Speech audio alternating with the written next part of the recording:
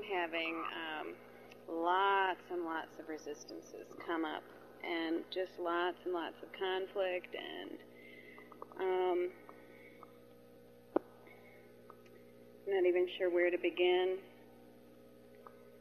So I guess I'll begin with where the conflict seemed to come, where it started, where, where I felt it first. I was at a girlfriend's um, yesterday, Kathy, and um, well, I suppose it first started when I talked to Rhonda because that's creating lots in me going on. This whole thing of what she's doing, and and it's really not about her. I'm looking at it from my own, with my own, from my own lesson standpoint. But there's just lots going on, and one big thing going on in me is I keep wondering if it's the Holy Spirit guiding her or something else. You know, because it just seems to be too much of a struggle. It's not flowing. And I know in my past, when things were right for me to do, they flowed. Doors opened and things just seemed to happen. And I'm feeling too much of a struggle.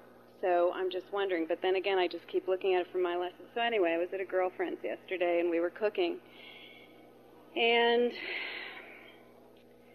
she was talking to me about all kind of things and you've probably had this happen where you're in a conversation and somebody's talking to you and it's not relating. There's just it doesn't make sense anymore. It's not relating, and you're smiling. Yeah, Kath, I know, you know, and uh, it's not relating, and so I just kept making lasagna and whatever, and then if I thought there was something that could have related, I would jump right in with some lesson or something, and realize that that was threatening to her, you know. So I wasn't feeling comfortable there talking about the course. I wasn't feeling comfortable talking about life. I wasn't feeling comfortable talking about anything. Um, so I kept making the lasagna. And then pretty soon I just told her how I was feeling about something and said, you know, Kath, so, so many things don't make sense anymore. You know, it's just kind of hard for me. Because I wanted to share with her. I don't want it to just be this group. I have a whole other group of people out there. And I said, you know, it's, it's kind of hard. She goes, What do you mean? Oh, I know what brought it up, too. She was bringing up a friend. It's a relationship she's had that's been up and down for a long time, and this woman, she says, is insane, and I just have to accept her for her insanity, Mary, but I don't want to get too close because da da da. And I just said, Kath, I said, you know, in a way, all of our relationships are insane. And I said, and it's not that you don't get too close, it's that you love her deeper than what you're seeing. And we start talking about that, and then I said, you know, I'm realizing that there are special relationships and their holy relationships. So we got onto that, and she just went wild. And she said, I don't understand that. What do you mean? Of course we have special relationships. I love Josh. I look forward to retiring with Josh. I have a wonderful life with him and my kids dear. What are you talking about, Mary? What are you talking about? And I said, oh, Kathy, I shouldn't have said anything.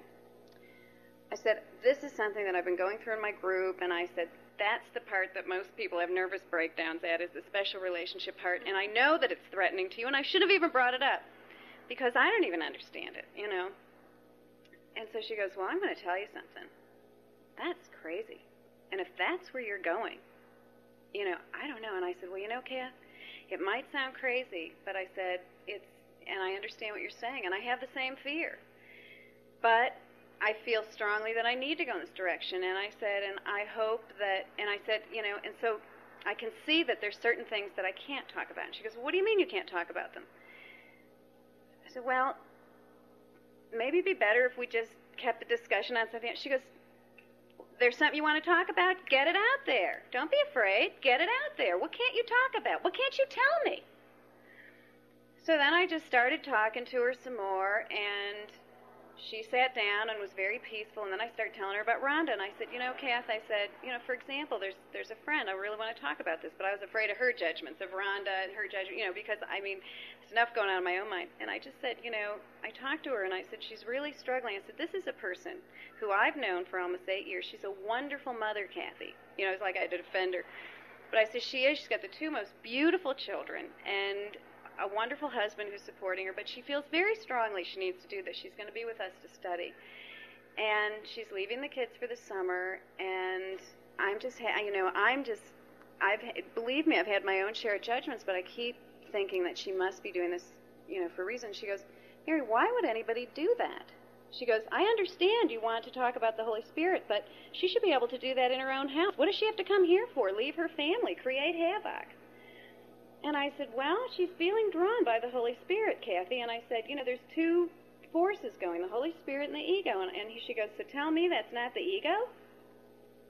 She goes, She's struggling like that. She says, You know when the Holy Spirit's worked with you and this. She's right. Everything's flowed and open. You didn't have to struggle. You weren't having all these tears. I said, Okay. I said, Kathy, but there's the ego is very strong. And the ego says, Rhonda, you can't go there. You're a mother. And you're, you know, I went through all this stuff. But mind you, this is on my own lesson. I'm having this struggle. So we just sat and gave each other a hug, and she said, Whatever you're going through, I want you to know how much I love you.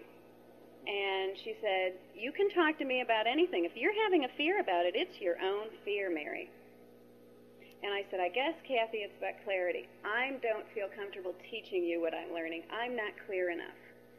And when I'm clear enough, we can sit down and discuss it, and I'll be able to talk to you about anything. But right now, I just can't, you know? And so I know none of this is making sense, but the fact that I can even sit in your kitchen and relate to you makes me feel good because I really want to still relate to you.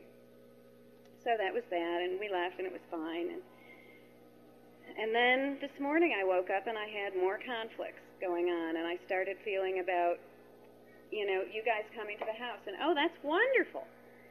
But Steve's paying for the damn thing, and we're all sitting around enjoying it, and I'm feeling very guilty that I'm not going to have a job now, you know.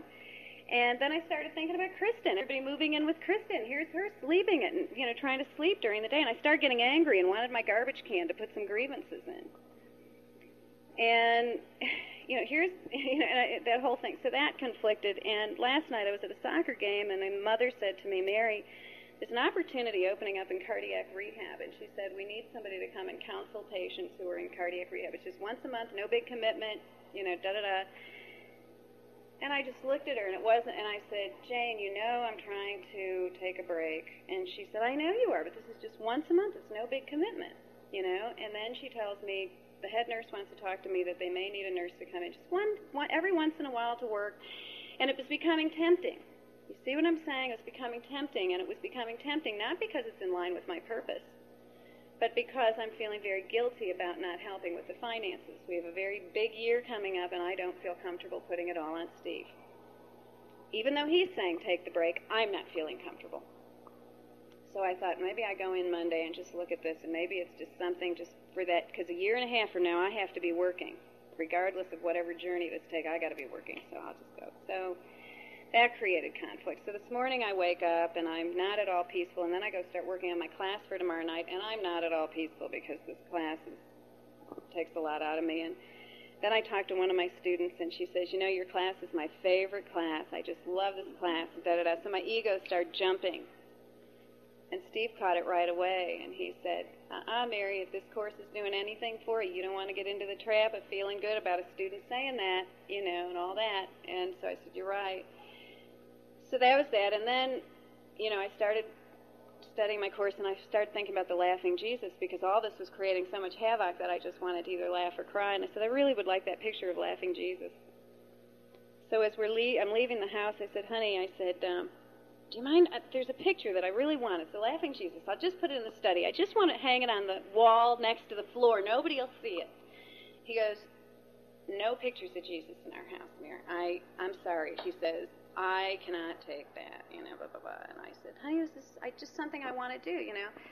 And he said, no, you know, he says, that just really makes me feel uncomfortable and you all that. In the meantime, right before that, he told me how wonderful this course was and how this taken me. But when it came to Jesus, that was it. And so that created conflict with me. And I I left just feeling like I, you know, I don't know who I am and what I want. And then I start saying about these groups and how I'm doing this for him and I'm doing this for the kids. And he says, You're not doing that for me or the kids, Mary. You're doing it for yourself. And he says, Enjoy it. I want you to take some time for yourself. But believe me, by next September, you better be done because I need your help. You're not doing this for anybody else but yourself.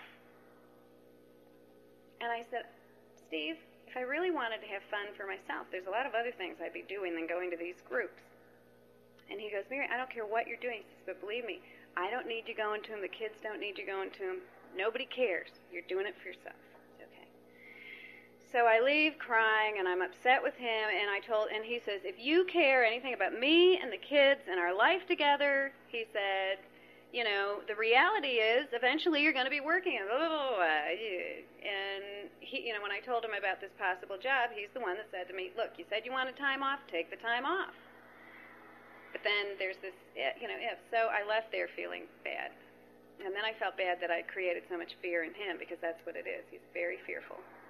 Then I went out to lunch with another friend, Susan, and I just we were talking, and she just said, "This is my very best friend in special relationship type things," and she said, "Mary," she says, "we're all very scared for you." She said, "Whatever you're doing, we just." She says, Steve, so I relayed to her about Steve, and she said, Steve's very fearful. He's just like we are. We're afraid you're going to leave us we're afraid wherever this is taking you, we're going to be left behind, and we love you. You know, we don't want you. She says, you you have been the dearest person to me, and I don't want you to leave me. Where is this table? And I'm sitting there at lunch with that.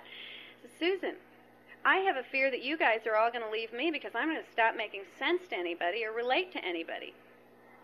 And she said, no. She says, well, nobody's going to leave you. We love you, you know. And she says, you have to trust yourself, Mary.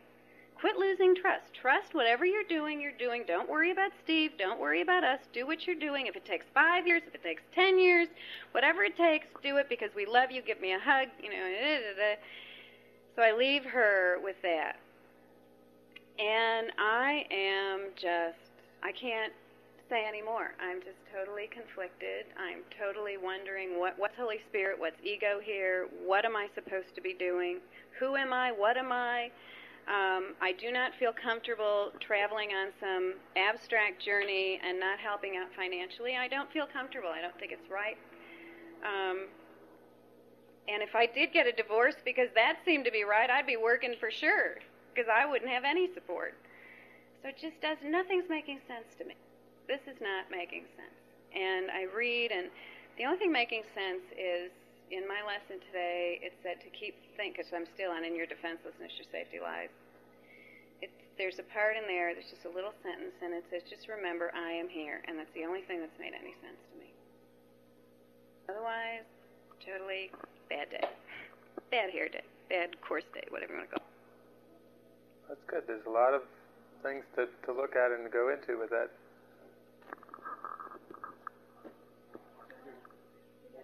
Yeah, I think maybe we can just try to address a lot of that because it's it brings a lot of things to the forefront. The basic thing that we keep talking about is that this world is insane, and that the only way that we'll ever be able to come to any kind of sanity is withdraw our minds from it. And consequently, it is commonplace when we start to even begin to withdraw our mind from it that there seems to be an awful lot of witnesses that seem to be doubting, questioning, um, maybe seeming even to be offer some support with some hooks or with some time frames on it. I'm supporting you now, and this is I know what you're doing. It's just for yourself alone, and you've got this amount of time to do what you need to do, and then you know you got to plug back in. And I, I sense that there's something in your mind that's wondering well, if I keep taking the steps, even in two or three months, if I let go of the way I've constructed the world and the this old way of thinking, that it may be too far gone. My mind might be, I don't know where, but it may be too far gone from where I think it is now to go back. You know, that's been a thing that I've talked when we talk with Rhonda a lot about. You know, Jesus says in a couple places, don't look back. Because it's kind of, or like that that story in the Bible where they in the, in the Old Testament where they tell the woman, you know, don't turn back or you'll turn into a pillar of salt. she just can't resist and looks back, and then she's like frozen in an image and everything. To me, it it's I can relate to what you're saying because it's been those questions all along about the fear of where this was taking me and everything.